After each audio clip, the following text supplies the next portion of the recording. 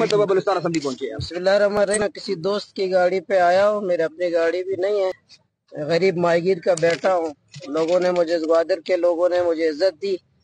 तो मैं अपने कौम की मैं बोझ महसूस कर रहा हूँ, कोई खुशी महसूस नहीं कर रहा कि जिला ग्वादर के अवाम ने इतना बड़ा बोझ मुझ पर डाला है।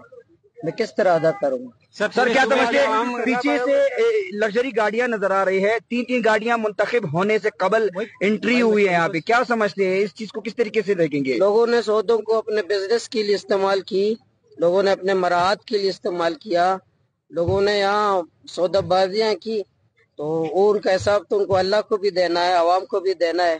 तो मैं इंशाल्लाह जब लोगों ने मुझे ऐवान तक इज़्ज़त दिए पहुँचाया तो मैं कोशिश करूँगा अपने कौम की गवादर डूबा हुआ है। गवादर की सूरत क्या है? गवादर डूबा हुआ है तो तरक्की के दावे जो गुजशत चालीस साल तीस पंद्रह सालों से जो दावे किए जा रहे थे ग्वादर को हमने तरक्की दी है। मुस्तकबिल का दुबई है मुस्तकबिल का सिंगापुर है। आज ग्वादर के लोग पानी के अंदर डूबे हुए हैं दरपदर हैं।